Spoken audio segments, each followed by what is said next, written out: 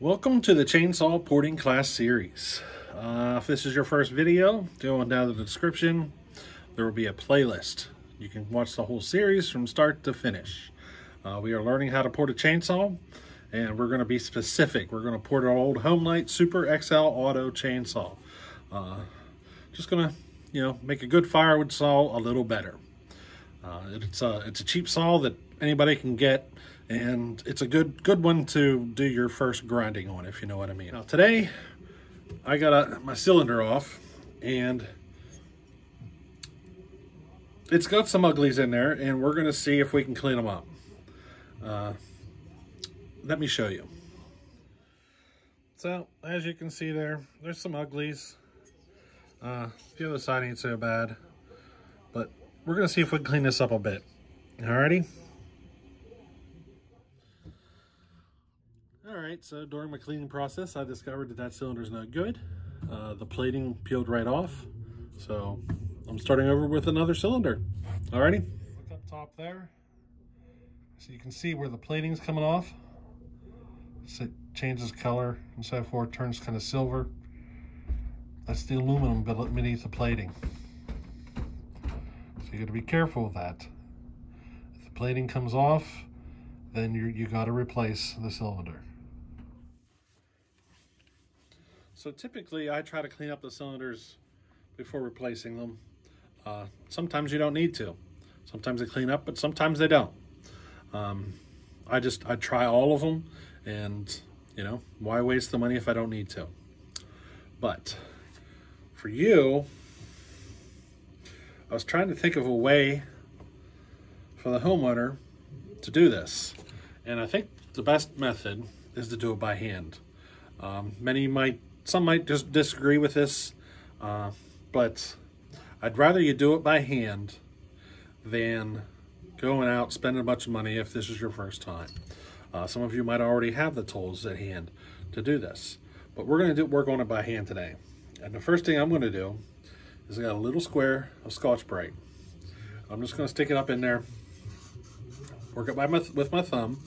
Now all my uh, work is going to be side to side. I don't want to go anything up and down. Everything's going to be side to side. So I'm just going to start with Scotch-Brite just to see how it turns out. Gonna work around. Just keep on going the whole way around. All right, so now I have this, it's rubber backed sandpaper, and I'm just gonna go in there and I'm gonna work it by hand. Now don't be afraid. Uh, remember, you're just you're just trying to save your cylinder from having to be replaced. So don't be afraid to go in there. Um, this takes a bit of time. It does. Don't expect to be done in five minutes. It's going to take a little while. But make sure you get all of it. Around the, the exhaust port area is probably going to be your worst. You're not really removing material. You're cleaning it mostly is what you're doing. This is this is all I do. Um, I'll bring you back here as I'm finishing up. All right, so I'll bring you in and I'll show you what my cylinder looks like right now. Uh, I could go further, but I'm happy with where it is. I don't think I'm going to. It will run just fine the way I have it. Uh, it doesn't need to be 100% perfect, if you know what I mean. So let me show you. And this is mine done. So this is the way I'm going to run it. You can see it's all done by hand. Uh, I'm not worried about that little bit at the top. But this is how I'm going to run this one. Now, some might want to uh, hone. You know, a lot of people talk about honing their cylinders. Uh, these old Homelite cylinders, I don't suggest it. Uh, the plating is a little thinner and you can end up causing damage. I'd rather you go without any honing whatsoever, not like literally just doing what I just showed you and that's it. I'd rather you go at that level. Uh, it will take longer for rings to seat, it will, but I'd rather you run this, run it like this, than trying to, to hone it and ruin it or whatever. That's how I've done the last, I don't know, 15 or 20 Homelites that I've done. Uh, that's how I've done them all. And so far, I'm satisfied with the results. Uh, so if, if you want to explore honing, I'd try to save that for something with a little bit more uh, coating in the cylinder than these old Homelites. Alrighty, so right now I'm in the process. I need to put a new piston on, so I'm in the process of doing that. Now I actually have two choices. This is where the secrets come in. Uh, this is an aftermarket replacement piston for Homelite Super XL Auto. Okay. This is replacement piston, not for Homelite. This is for a Pioneer 1200A. They are identical. Diameter is the same. They're the same there. The difference is the 1200A, the top of the piston is just a tad higher. Uh, let me see if I can show you here. Gonna stick the pin in one, stick the pin in the other. Probably can't see it. This is the piston for the 1200A. This is the aftermarket piston for the Homelite. You're probably hard to tell, but you see how the dome on the 1200A is just a little bit bigger than the Super XL? That should increase compression. It's kind of like a pop-up piston. I got the pin ran through both both pistons. And another thing, the Super XL where your rings line up. You got these little pins that put your, your groove on your rings in a straight line. On the 1200A, they are offset a little bit. So hopefully that helps with compression as well. I'm gonna have to put this piston on and go through my numbers again, just to make sure. Alrighty, that's what I'm doing right now. Pretty simple to install. So I was trying to get a shot of changing the piston, but the, it's just too tight. I had to pull it away, pull the camera away. But it's not hard. If you end up looking inside, one side is gonna have just like a little ring and the other side is gonna have like a clip. Pull the clip out and then just push the pin across. It's as simple as that. Reverse the order to put it back together. Um, the pin just, you know, it just slides right in and there's a clip on either side to hold it.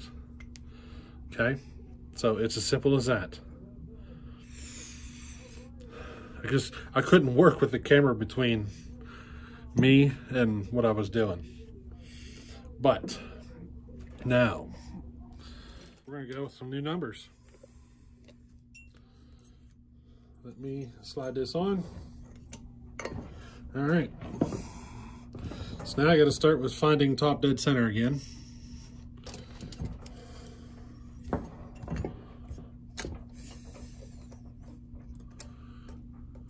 Just going to use an ink pen like I did before.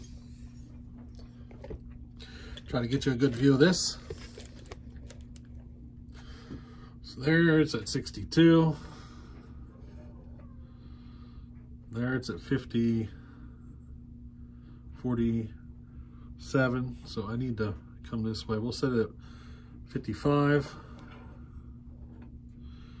Ooh, that was close. 54. So that's about 54 and a half. And that's at 54 and a half. So there we go. Top dead center. we go. Let's start over from scratch with our numbers. New cylinder, different piston, or it's a different piston and cylinder. So everything's going to be different.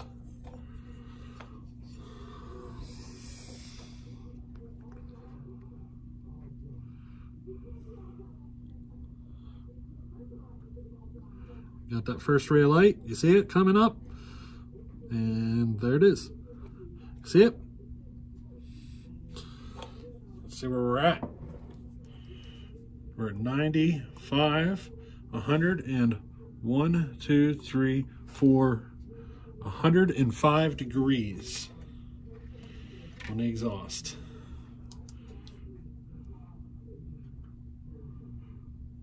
Yep, 105 degrees on the exhaust. Now, I want to find my blowdown. The first moment the transfer is open.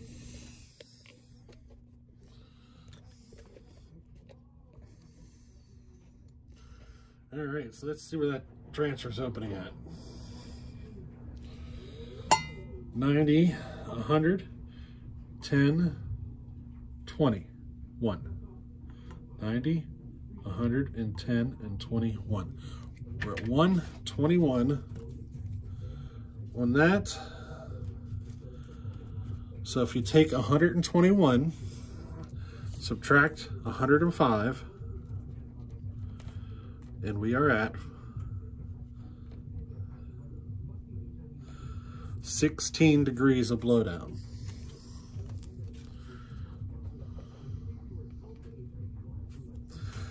Now, we also want to look at the duration, exhaust duration.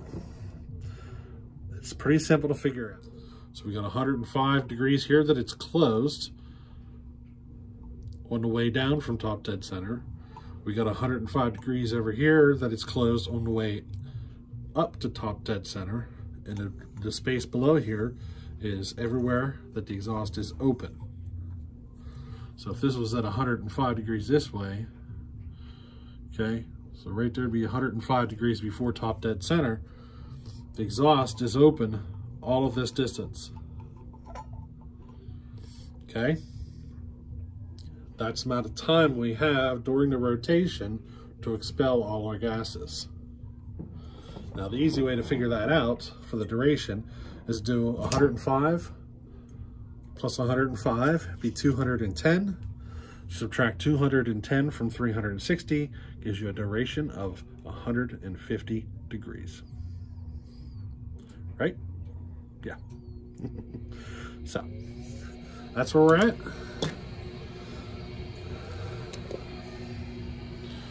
Now, come back next week and we'll go over some decision making and it might take a couple of videos on the decision making, but at least now we know what numbers we're starting with and we'll be able to move on from there. Alrighty, thanks. See you next week.